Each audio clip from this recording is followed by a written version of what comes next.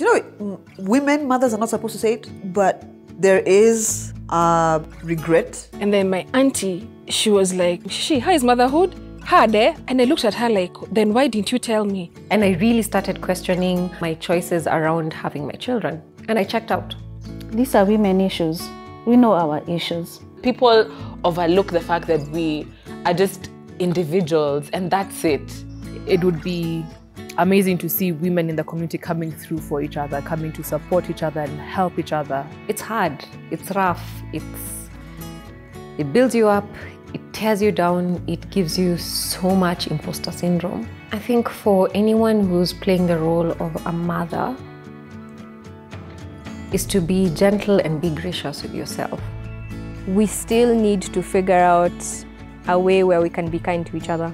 That should be it.